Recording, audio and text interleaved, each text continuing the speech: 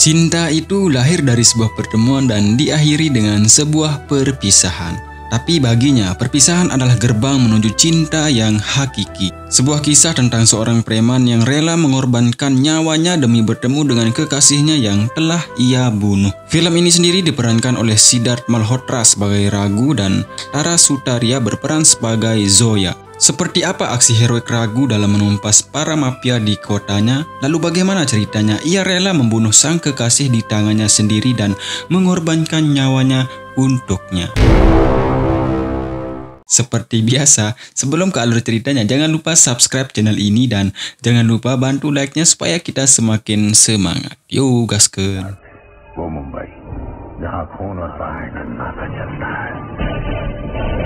Ceritanya kita mulai dari sini. Ini adalah Ana Narayan yang merupakan ketua gangster paling ditakuti di kota Mumbai. Orang-orang menyebutnya raja tanpa mahkota. Saat Dussehra akan dirayakan, Dussehra itu sebuah tradisi dalam keyakinannya, yaitu proses pembakaran patung Ravan. Eh, nggak tahu filosofinya apa guys.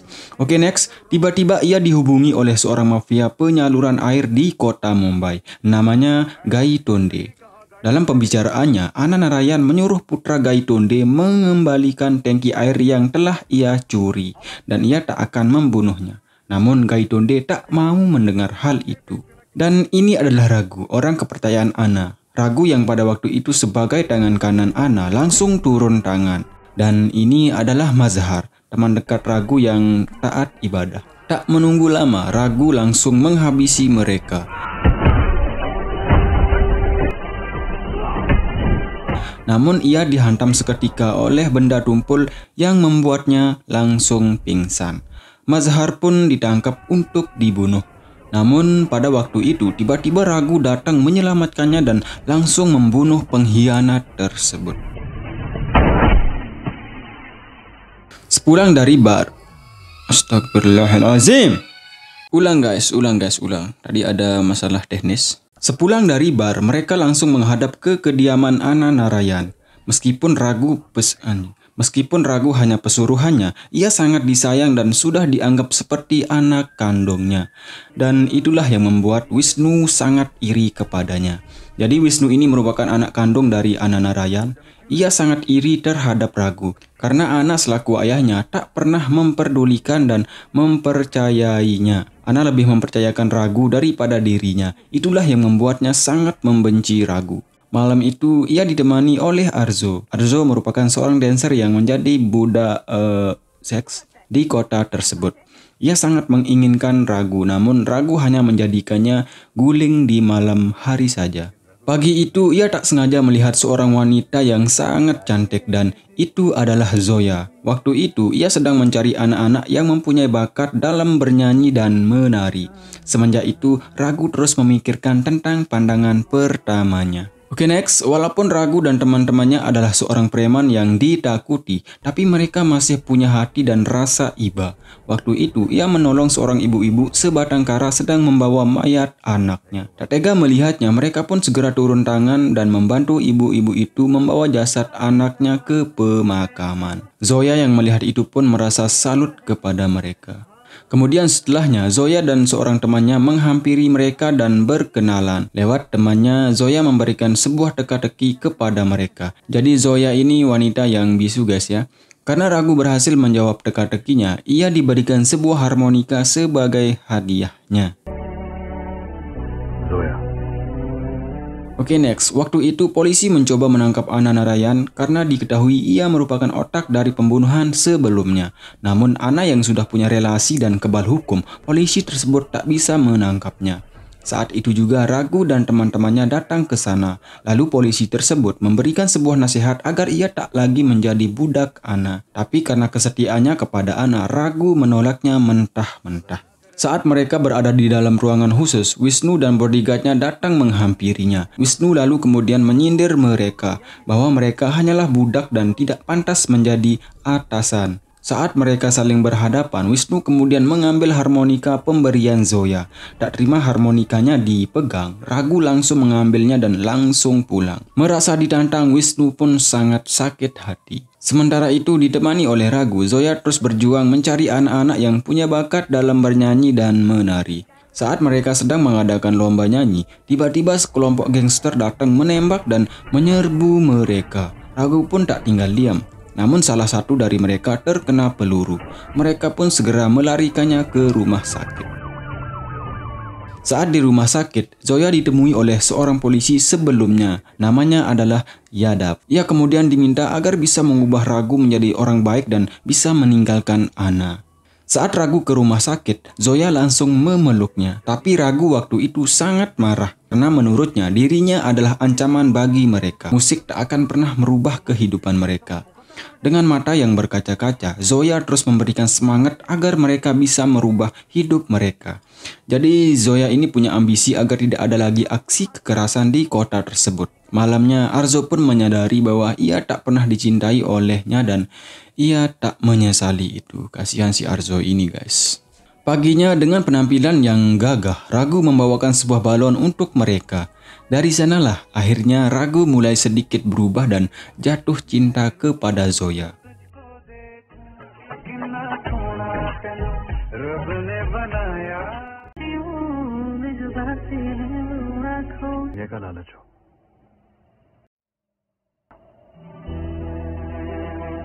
Malamnya Wisnu dan bodyguardnya datang ke kompleks mereka. Waktu itu, ia bersama anak buahnya ingin mencari remaja yang cukup umur untuk dijual. Saat anak buahnya ingin mengambil salah satu dari mereka, Ragu langsung menghentikannya dan di smackdown. Wisnu yang merasa ditantang oleh Ragu pun sangat marah. Saat ia mencoba menembaknya, Mazhar langsung menghalaunya dan menendangnya hingga terjatuh. Wisnu kemudian mengancam mereka. Jika mereka masih mengikuti Zoya, ia tak segan-segan akan membunuh keluarga dari mereka. Dan ia pun langsung pergi. Mendengar ancaman tersebut, Safi'i sangat marah karena baginya semenjak kehadiran Zoya, kompleks mereka tidak aman. Tak terima nasihat yang diberikan, Safi'i langsung dihajar oleh Ragu. Merasa lebih membela Zoya daripada dirinya, Safi'i pun langsung memutuskan persahabatannya dan menganggap mereka adalah musuhnya. Sementara itu, Wisnu sangat marah dan berjanji akan membalas mereka. Paginya bersama Mazhar Ragu pun berniat ingin keluar dari gangster Ana Narayan dan memulai hidup baru bersama warga kompleksnya. Mazhar pun menyetujuinya. Sampai di kediaman Ana, ia pun menunggu Ana yang sedang berdoa kemudian menyailenkan handphonenya. Sementara itu Wisnu sedang merencanakan sesuatu. Ia menyengkap keluarga Gaitonde dan membunuhnya. Zoya yang mengintip aksi Wisnu itu pun diketahui dan langsung dikejar. Ia kemudian menelpon Ragu tapi tak diangkat. Ia kemudian melaporkan kejadian tersebut kepada Inspektur Yadap dan Ragu lewat SMS. Ana yang tahu hal itu dari Wisnu kemudian menyuruh Ragu menangkap Zoya karena Zoya sudah melaporkan kejadian itu ke polisi. Ia juga disuruh menghabisinya guys. Di sini Ana belum tahu kalau Ragu sangat mencintai Zoya guys ya. Ragu pun segera mencari Zoya. Ia kemudian menyuruh melupakan kejadian tersebut, namun ia sudah terlanjur melaporkan ke polisi. Ragu pun mengajaknya kabur dari tempat tersebut. Sampai di tengah jalan, ia dihadang oleh anak buah Wisnu. Para gangster tersebut pun menyerang Ragu. Tak tinggal diam, Ragu pun melindungi Zoya dan menghabisi mereka. Sementara itu Wisnu sudah merencanakan suatu dengan cara menyandra anak-anak tersebut agar Zoya bisa menyerahkan dirinya. Ragu yang melihatnya pun langsung mengejarnya, tapi yang langsung ditabrak dan terjatuh. Ia kemudian dibawa ke tempat Zoya dan yang lainnya disandra. Di sana Wisnu berencana akan membunuh semuanya. Namun saat ia akan menarik pelatuk pistolnya, tiba-tiba ayahnya datang dan menghentikan rencana brutalnya guys. Demi bersikap adil terhadap Wisnu dan Ragu, anak kemudian menyuruh Ragu membunuh Zoya di tangannya sendiri agar anak-anak dan yang lainnya bisa selamat. Demi cintanya dan mereka, Zoya pun rela menyerahkan nyawanya. Ia kemudian memberikan pistolnya dan menyuruh Ragu menembaknya. Oh, di sinilah adegan yang buat mata kita berkaca-kaca guys. Wah, sedih, sedih guys. terlalu sedih.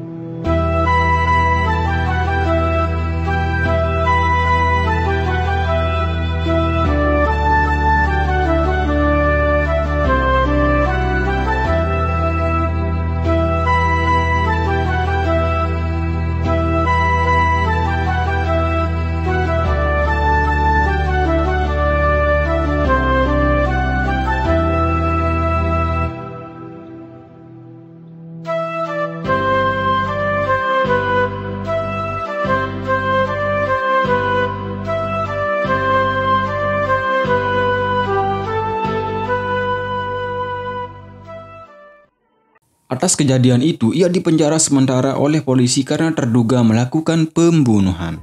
Oke next, Wisnu kini semakin brutal dan berbuat semaunya. Ia menyuruh anak buahnya membalaskan dendamnya kepada Mazhar.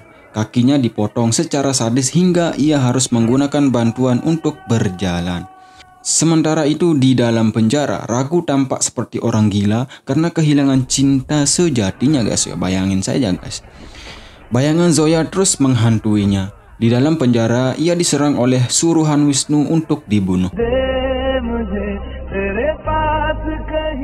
Mendengar kabar percobaan pembunuhan Ragu, ayahnya sangat marah kepada Wisnu. Karena menurut ayahnya, ia terlihat seperti pengecut. Jadi Wisnu ini sangat takut akan kebebasannya guys ya. Karena menurutnya, setelah Ragu bebas, ia akan dibunuh olehnya. Ayahnya kemudian mengatakan Ragu tak akan bisa balas dendam. Dia telah mati semenjak kematian kekasihnya. Hidupnya tidak ada artinya, jadi dia tak akan bisa balas dendam. Mendengar perkataan Ana, Sapi'i selaku tangan kanan Wisnu membenarkan hal itu dan dia berencana mengeluarkan Ragu dari penjara. Setelah keluar, kita bunuh dia, kata Sapi'i. Menjelang kebebasannya, ia ditemui oleh Ana di dalam sel.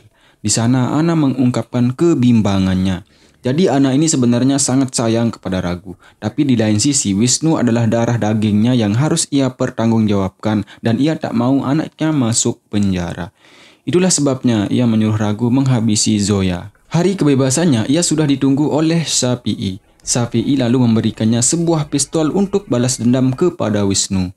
Tapi ini sebenarnya adalah rencana Wisnu untuk masuk dalam perangkap mereka. Dengan persiapan senjata yang lengkap, pasukan Wisnu bersiap-siap menunggu kedatangan Ragu. Saat Ragu sampai di tengah-tengah mereka, Wisnu langsung menyuruh anak buahnya menembaknya. Namun anak tak mengizinkannya. Dikira balas dendam, ternyata Ragu ke sana hanya mengembalikan pistolnya dan menyerah kepada mereka. Percaya dengan ragu, Wisnu pun menghubungi Sapi'i agar gerak-geriknya diawasi. Kini ragu hidup seperti orang gila, ia tak memperdulikan hidupnya lagi guys. Kerjaannya cuma minum dan senang-senang. Bahkan harmonika pemberian Zoya ia jual demi sebotol minuman. Mengetahui hal itu, Sapi'i pun melaporkan ke Wisnu. Masih tak percaya dengan sikap ragu, Wisnu kemudian merencanakan sesuatu agar emosinya terbakar. Mereka menyandra Paya dan Arzo untuk dijual. Ragu kemudian disuruh memilih menyelamatkan salah satu di antara mereka. Namun Ragu tetap tak memperdulikannya dan berlalu pergi. Mengetahui hal itu, ayahnya sangat marah besar dan langsung menampar Wisnu. Ayahnya sangat marah karena Wisnu tak pernah bersikap dewasa. Mendengar caci makian ayahnya, Wisnu pun bersujud di kakinya. Bukan menyesali perbuatannya, malah ia melempar ayahnya ke bawah dan Ananarayan pun tewas. Wisnu kemudian menyuruh anak buahnya menghabisi Ragu agar tidak ada lagi penghalang kekuasaannya. Mendengar berita kematian Ana, emosi Ragu pun terbakar dan kembali menjadi singa guys. Kemudian ia menuju ke kuburan Zoya. Di sana ia berjanji akan menghabisi pasukan Wisnu agar tidak ada lagi pembunuhan dan perbudakan. Seperti apa yang diinginkan Zoya semasa hidupnya. Dan tiba-tiba guys, temannya datang dari belakang untuk mendukung aksinya. Begitu juga dengan Sapi, ia tersadar dan kembali bergabung dengannya. Arzo pun datang untuk memberitahunya bahwa besok adalah hari perayaan Dusera. Di sanalah Wisnu akan keluar. Jadi sebenarnya apa yang dilakukan Ragu semenjak ia keluar dari penjara hanyalah taktiknya saja guys. Agar Wisnu tidak mencurigainya dan menunggu waktu yang tepat agar ia bisa keluar dari markasnya. Inspektur Yada pun datang tiba-tiba dan akan mendukung aksinya. Singkat cerita, hari Dusera pun dirayakan. Saat Wisnu akan membakar patung Ravan, Ragu sudah berdiri di atasnya. Wisnu pun sangat ketakutan. Wisnu kemudian menyuruh anak buahnya menghabisinya. Aksi tawur-tawuran pun terjadi. Saat menghadapi bodyguard andalan Wisnu, Ragu di smackdown dan dibuat pingsan. Namun mendengar perkataan Wisnu yang terlalu sombong, ia kemudian mengingat sang kekasihnya. Ia pun terbangun dan menghabisinya hingga mati. Ragu dilawan gitu loh. Saat ia menaiki menara tempat Wisnu berdiri, ia ditusuk oleh Wisnu dengan anak panah. Busur panah itu tertancap tepat di jantungnya. Ragu pun langsung melemparkannya ke bawah. Dengan gayanya yang khas, Ragu membakar sebuah nama bertuliskan Zoya sambil mengatakan, "Bahkan Tuhan saja tidak bisa menghilangkan nama ini di hatiku." Jadi itulah cinta, guys ya. Cinta itu memang luar biasa.